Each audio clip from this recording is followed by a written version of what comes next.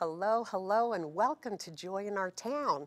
We are so happy you've joined us today. I'm Orlina Brazier, and we are here with a very special guest talking about substance abuse.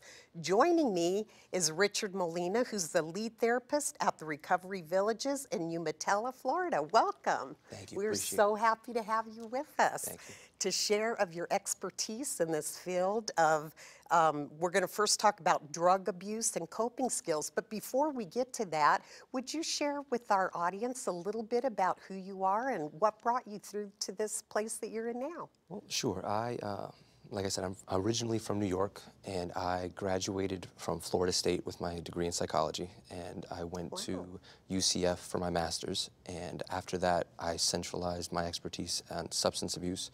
I have unfortunately had some uh, family members that have suffered from substance abuse over the years, some of which who have passed away. Um, so I've chosen to kind of have my expertise to try to help others that are suffering from the same condition.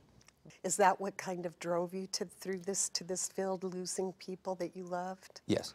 That is amazing. Well, Richard, thank you so much for joining us today. I know you're very busy. And Umatilla, where is that? That's, you were Uh, telling about me. uh, 15, 20 minutes north of Mount Dora, so s- about an hour or so north of here. Yeah, so not too far away. well, we're so happy you've joined us today. And, and I know that our audience, you are going to go get a pencil, paper, take down some notes because this gentleman really cares and really has a lot to share with us. So let's start with drug abuse. We're going to be talking about drug abuse and the coping skills and some of the factors that contribute to it. So take, take it away. Well, to start off, substance abuse tends to be something that starts off at a relatively young age. Um, we have individuals on average, in my experience, starting at around 14 to 15 years old. So we're talking about teenagers that are starting with whether it be marijuana use or some minimal alcohol use, and at the time, not necessarily causing much problems in their lives. Uh, the issue becomes when they start to use it more regularly and they start to have more adult problems at 18, 24, 26, having to pay bills and having to go to work. Um, the problems start to add up. Uh, so they're using substances as a means of coping with life, whether it be stress, um, whether it be, you know, my boyfriend or girlfriend dumped me, or once again in grade school, I'm dealing with issues with my teachers. Um, and then they continue to use these same coping skills as adults when they have much more mature problems. Um, and these coping skills aren't helping them, inevitably starting to lead to both physical, social, and even spiritual deteriorations in their life. And also, they can't hold jobs when they start getting into too many drugs. Agreed. What are some of the main drug problems that you see out there? Which drugs? Right now, I would say that the biggest, two biggest offenders are uh, individuals that are addicted to opiates, which are come into classifications of either prescription drugs, so Oxycontin or uh, hydrocodone, or heroin. And Wow. the second being alcohol. How do these people afford this kind of drug habit? You know, I have yet to really figure that out, honestly. My patients have ranged from telling me that they'll spend $50 a day to hundreds of dollars a day, and I don't consciously understand how they can afford that, but I do know that they go out of their way to make sure that it happens. They will, whether it be manipulating family members, manipulating work, whether it be pawning things, stealing, they've developed coping skills that are very maladaptive behaviors in general of society, but they support their substance use by doing these things. So, what about the people that are using these drugs? What are you seeing out there is happening? Well, as far as the substance use is concerned, once again, they're using it as means of coping, and they're realizing that as they get into adults, they're unable to cope with life by using their substances. Like you said, they're unable to keep jobs, they're unable to stay steadily connected with their family members. Um, they tend to isolate after years of substance use. And these individuals, once again, they started, most of them, at a very young age, so it's been a pattern for them to continue to use these things. And in the beginning, it never caused any problems. But towards the end, when they're in their 20s and 30s and they're starting to realize that job is important, paying bills is important, being able to maintain social connections with their family is important, um, their substance use is getting in the way of that. So I know that you said you had some statistics for nationally for drugs. What, what are those? Uh, Well, one of the biggest and most alarming statistics at this point, uh, as some of your audience may know, is uh, prescription drugs, specifically opiates. Um, they were the leading cause in 2013 for injury-related deaths in this country, uh, averaging at around 44 to 45,000 nationwide. Um, it doesn't seem like a lot of deaths uh, for a country our size, but it was the leading cause in 2013 for injury-related deaths, Wow. which specifically is poisoning, which is what we refer to as overdose. And you said prescription drugs. So prescription drugs, there's almost is as prevalent as the other drugs, as people taking illegal drugs, correct? Yes, there is definitely a trend recently within the medical profession where prescription drugs are, you know, prescribed for back pain or hip pain or some form of surgery, and these individuals not really knowing um, the danger of which take, taking these prescription drugs outside of how they're medically prescribed can create a tolerance for themselves, which in turn need their eventually what a tolerance means is you need more of the substance to get the same effect. So if your doctor prescribes you, let's say, 30 pills in a month when you're supposed to take one a day, um, if you start to take that outside of that uh, you know, prescribed regimen and start taking one and a half a day or two a day because your tolerance is going up, it starts to lead down a very scary path. slippery slope, huh? And then here they are with all of this medication in them and they have to have more and more and more. And do you see that doctors, they go to different doctors and they prescribe pills? This was an epidemic where we had what we refer to in the field as doctor shopping. So individuals will go from one doctor to another with cash, um, and just at a lot of the pain management clinics. This has started to be re- uh, starting to get resolved in this state, at least. Um, we've uh, this state, the government has put into certain. Uh, requirements to kind of prevent this from occurring. But over the past, I'd say five to 10 years up until this point, it has definitely been an issue. So coping skills, how can people cope with their drug problems that are watching that really, really have a family member that they love, that they want to get off of drugs, or that they want to encourage to get off drugs, and maybe somebody's watching that has a drug problem and they're thinking, oh my gosh, you know, this is overtaking me and I want to stop. What can they do? I think the biggest thing that anyone can do if they either are suffering from substance abuse or have a family member who is, is seek professional assistance. Um, there are facilities both on an outpatient and inpatient basis throughout this country, plenty in even the Central Florida area, to help assist with that. Um, and the reason I say this is because depending on what substance it is that they're abusing, um, there could very well be a, a lot of medical complications with detoxing them off of those substances. So, for instance, um, with uh, individuals who suffer from opiate dependence, there are a lot of withdrawal symptoms that resemble flu-like symptoms, um, very severe flu-like symptoms. So there needs to be medical monitoring for these individuals when we're getting we're taking them off of the drugs. So when they're coming off, they get sick because their body, probably the toxins, are like going crazy from the drugs. And it, it because doesn't drugs, how long does drugs stay in your system? Well, it kind of depends on the substance. So, for instance, um, with indiv- with substances like heroin or cocaine, it's a much shorter half-life. So, individuals, if they stop using today, within three, four days, it would be out of their system. Um, but in, but substances like marijuana that are fat soluble, depending on how often they're using, it could stay in their system for a month plus. Well, marijuana too is legal in a lot of states now, and that's kind of scary, isn't it? It definitely adds concerns for us in the field. Yes. So um, to have, what exactly, can you give an, um, maybe an example of someone that, you know, used a coping skill that, that you've, you know, required and how it's changed their life? Well, some of the coping skills that we teach at our facility, um, and some of the ones that are just taught in the field generally, um, one of the big ones is something as simple as deep breathing. Um, so individuals tend to not really notice how important it is to control one's breathing and, and in effect to kind of help them with their anxiety or kind of help them with uh, just stress management in general. Uh, journaling also is another important one.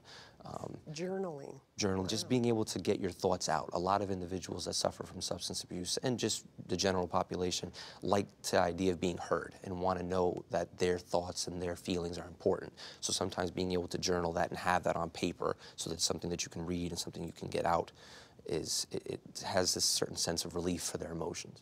That is great. And you know, I have heard about breathing techniques. Tell it, explain exactly how you would do that for someone that's watching. Like breathing, what do you mean? So, So the reason breathing is so important is because our heart, for instance, is, is an automatic muscle. We really don't want that muscle to stop working. It just beeps uh, for as long as we're thankfully alive. But our lungs, on the other hand, are not. So our lungs, um, we can hold our breath. So even though it kind of seems like our lungs are working automatically, we're in control of them. So if with deep breathing, what we can do is we try to fill our lungs as much as we can. And one of the instances that you can tell that you're doing it correctly is if you feel your stomach kind of extend outward. That's how you know that your lungs are full. Because most people tend to breathe up here, kind of shallow, but one's lungs are pretty long. They fill your entire rib cage, and most individuals aren't really fully aware of that. But by practicing deep breathing, one can reduce their stress, can better focus in, in any given moment, uh, and allow for more critical thinking uh, if there's in, in times of stress. That is great. And that is a very good thing to do. I know that I've heard about that a lot, and it does help. I've tried to do that myself, fighting asthma things. But what are some of the steps that a family and individual can do um, to that may have a drug abuse problem? And that'll be our final question on this topic. What I can say is, is if you have a family member that you're concerned about, if you have any sort of suspect, uh, suspicions that they may be abusing substances or something's going on, I would seek help. Go online and start to look for some of the national phone numbers that are around for organizations that can help find you um, information about how to identify some more of the uh, kind of factors that attribute to substance use. And if those factors are present, then talking with your loved one about whether or not they're open to entering into a program to kind of help them get off. Because if they're not really willing, then they're probably not going to get help, right? There is, thankfully, some laws in this state specifically. I'm not sure of how many other states abide by them, but there is a state law in Florida called the Marchman Act. And there, your audience can kind of research and get specifics into what that looks like. But there are ways to what we refer to as involuntarily place someone into treatment if, because of substance use, they are a danger to their own life. Well, that's something. Well, we really thank you for coming and representing, um, being that you're the lead therapist at the Recovery Village here in Florida. And, and we thank you for your expert opinion on this. And right now, we're going to run to a 30 second PSA and we'll be right back. Life is made of moments.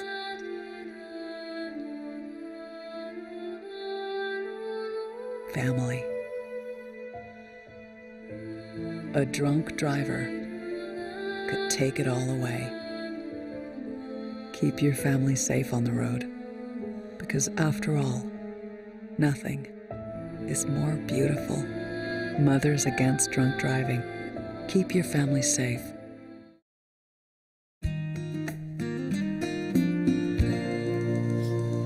Welcome back to Joy in Our Town. If you've just joined us, we are here with Richard Molina, who's the lead therapist at the Recovery Village in Umatilla, Florida. And we are so happy that you have joined us. We're going to be talking now about the family disease of alcoholism. And this is a very important subject because, I mean, even in the newspapers everywhere, alcohol is so abused today. Is. So tell us a little bit about alcoholism and why why you refer to it as a family disease or why it is referred to as a family disease. Well, just like with any other action anyone takes, there's an effect that it has on those around them. And alcoholism has a great deal of effect, whether it be um, emotional or physical or even verbal abuse that can occur from someone who is suffering from alcoholism and is in a place to not be able to deal with their own emotions and is unsure how to deal with those around them. So whether it be a father or a mother or a sister or a brother, it greatly affects everyone that's around them, whether it be employees, uh, co-workers, or even you know friends of the family. It seems like all substance abuse, no matter what it is, is it really can just crush everything in your life. It just can destroy everything. Agreed. So, so tell us. I know that there's some statistics, and those are kind of important. And you said that you do have statewide statistics Yes, on within- alcoholism. Yes, within the state of Florida, the most recent statistics that I've found is that about 3% of the population Wow. suffers from some form of alcoholism. Now, it doesn't seem like a lot, but based off of the population that we have in this state, which is about 19 million, if I'm not mistaken, that's about half a million people. Um, so that's half a million family members, half a million uh, children, half a million individuals that could be possibly connected to this and these individuals that are also suffering with the process of substance use. And we're talking about all ages, from very young children, you know, what, what, what is the age you think that they're starting? Well, with alcohol, most individuals that I've found at this point in my in my experience working in the field, there tends to be around between the ages of 13 to 14 is when they start to first drink. Um, now, these individuals at that time aren't necessarily experiencing a lot of the negative consequences that come from alcoholism, but they have the foot, the, you know, the stepping stones that kind of lead to that once they get into adulthood. Yeah, they like doing it like for partying and filling whatever they feel. I don't know, what does alcohol make people feel like? Just that numb and they don't, mm-hmm. they just can play, they just aren't themselves, correct? There tends to be kind of like a social lubricant when they're young. Um, I imagine. I mean, from I remember when I was a teenager, you know, very social kind of situations can feel very awkward. Whether you're talking with a girl or a boy, and it kind of feels just difficult to kind of be yourself. Um, alcohol can definitely give people the impression that they are more themselves, when in reality. Um, what these children are doing and what the adults, uh, as they grow older, are doing are just numbing a lot of their emotions. So they're coping with that anxiety by kind of trying to push it away. So it feels as if they don't have it. Um, but then the the flip side of the consequences of that are, you know, whether it be unable to stay at work, unable to function emotionally as an adult, unable to keep a family. Um, if it becomes a dependence issue as an adult, it, it has many consequences for many people. Isn't there a disease of alcoholism too, where some people are almost, they act like allergic to it and it causes them to not be together? I mean, what, what is that? Well, the disease of addiction, as far as uh, the mental health field is concerned, is one that's we basically see it as this is something that is chronic condition for these individuals. So it's not something that is ever going to go away in the sense that if they stop using their substances now and remain clean and sober, if they were to ever relapse and start using substances again, the effects on the brain would return and will return rather quickly. Um, so the effects is, that you were talking about as far as like the allergic and kind of um, almost sickness feeling tends to come from individuals when they're withdrawing off of substances. Um, something that's very important for everyone in your audience to understand is that alcohol specifically is one of the few substances that one can die from detoxing from. Wow. And they do. So if, if there is anyone out there that is suffering from substance abuse and has alcohol as their substance of choice, there's definitely a, a dire need for them to be under medical supervision if they're going to be detoxing off of it.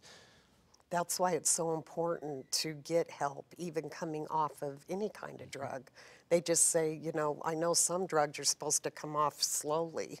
Yes, And so, alcohol is one of them. and- oh, it is. Alcohol is definitely a substance that, um, for instance, depend, obviously it depends on the the rate of substance use that this person. So if they're drinking, you know, four or five beers a day versus some of my patients have drank up to a bottle a day of liquor.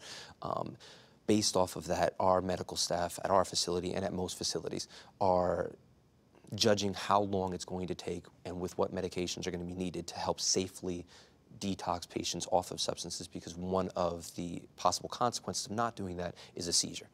And Oh. a seizure is um, can happen at any point in time and can be very dangerous. My goodness, you wouldn't even think of that, but that makes sense, you know, because it's it is a drug. Alcohol is considered a drug, correct? Yeah. So my goodness. So, um, what would parents? Uh, the genes. I wanted to talk about genes. What is it like? If a parent's been an alcoholic, does it roll over into the children that want to be that, or is there something in them that drives them to drink? I can definitely say that there is a genetic component, and I would say that the research at this point hasn't yet dis, uh, come to determine the full effect of those genetic components and whether or not it skips a generation and so on and so forth. But what I can say is that if there's a loved one that consciously knows that their father or mother or grandfather clearly drank too much, um, the best way of being able to solve this is just to have an honest conversation. You know, talk with your loved ones about what it is that you experienced growing up or what it was that you experienced if you yourself had a substance abuse issue and be honest with your loved ones. Obviously, age appropriately, um, especially if you have a teenager that's 14 or 15 years old. At this point, they probably need to know the dangers that come along with experimenting with substances of any kind, whether they be alcohol or drugs. How do you recommend a family member talking to their youth about it? Well, one thing that I would definitely recommend is if there's somebody that you are concerned about, uh, whether it be, especially a young adult, you know, from 15 to like 16 or 17 years old, there is, I- I would recommend seeking out assistance with how to kind of communicate this information. There are plenty of therapists that can help kind of guide that conversation in a, a bit of a more of a neutral standing. 'Cause sometimes, I, at least I remember when I was a kid, there was, it's very difficult for my parents to be able to tell me anything because they're my parents. So Right. it's, it's, it's, there is Kids that don't kind of connection. listen to their parents. Yes, and I have been guilty of that for, for, my, for my share of things. But because of that, but because of that, there might be needing for like a central kind of person that is separate from being the parent that can kind of deliver a lot of this information and kind of connect the dots for them in a more objective way without having that emotional connection. I wish that schools would have more talks about this. Are you seeing that opening up at all, or do you go into like schools and actually talk to the youth?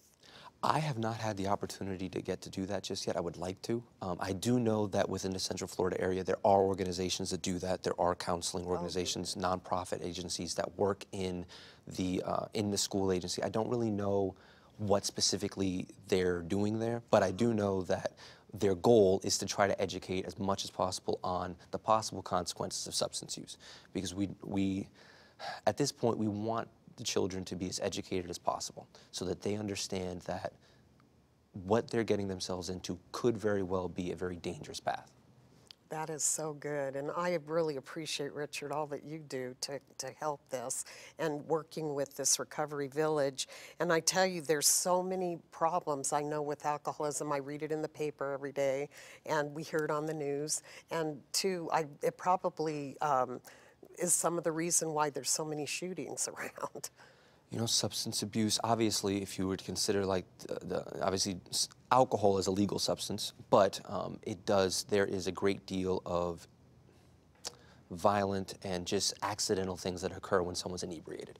And if they're drinking enough alcohol, whether it be behind, behind the wheel or uh, if they're upset, I believe that there was a, there's information out that states that you know, any sort of abuse in the home tends to increase significantly if there's alcohol present there. So if there's someone that's drinking alcohol heavily, there tends to be even more abuse, whether it be domestic violence or uh, child abuse in some form.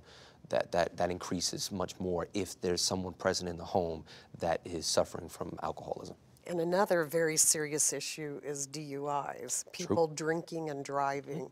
And I know the statistics on that is awful. Has it come down at all, do you know, in this state? In this state, I, f- to be honest, I don't know specifically if it's gone down, but the last I read over the last few years, it's been kind of steady. Um, Wow. It, it's, it is still very much an issue. But it's, it, there's such a, you have to pay so much for that, and it just ruins your record and your insurance and all of that, but people just still do it. the amount that it affects society as a whole is very high. Obviously, the amount that you're paying as far as a ticket or, or court fees, but also with Jail whatever time. property damage, jail time, uh, not being able to go to work, your employer having to find a new person to work for them if, if you're unable to go to work because you can't drive anymore.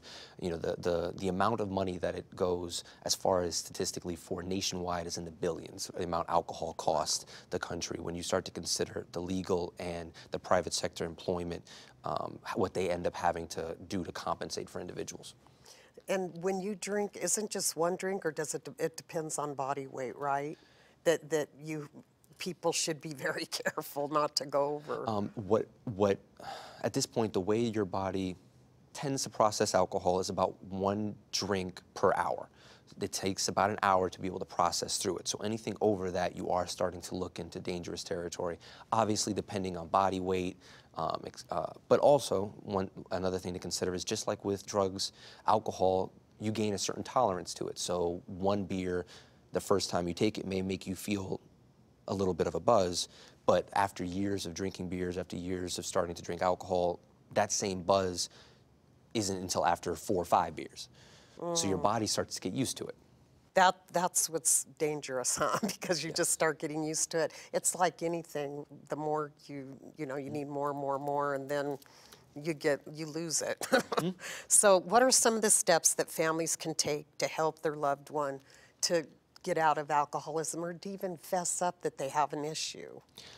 Well, you know, I think We'll that, end on this one. No, thank you. I think one one the most important things to do is obviously is to talk to your loved ones and be honest with them about what it is that you're experiencing when they're using substances and encourage them to seek out professional assistance. Um, these individuals, it is once again specifically with alcohol, it is not safe for them to detox on their own. Certain people might think that all right, you know, if I if if I'm drinking a bottle a day, if I just wean myself off and drink a little bit of the bottle throughout the day, I can get myself off of it. And it's a very mm. dangerous thought.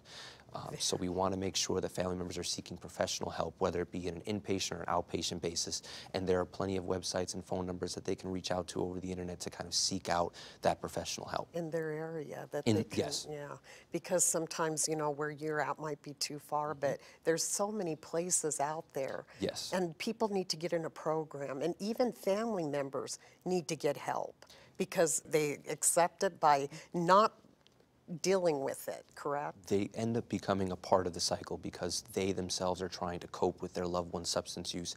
And because they love their loved one and because they want them to live and survive, they end up becoming a part of the process. And until they understand what behaviors they're doing that are uh, making it difficult for their loved one to make changes in their lives, they're going to continue to do these things unintentionally. That is so sad, but I tell you, this has been awesome, Richard. I thank you so much for your expertise in this area and all that you've gone through. And we want to thank you, Richard, again for coming and being a part and sharing with us today all of these things that I know will help you. So thank you for joining us, and we want you to go and have a wonderful day. Be blessed, and we'll see you next time. Bye bye.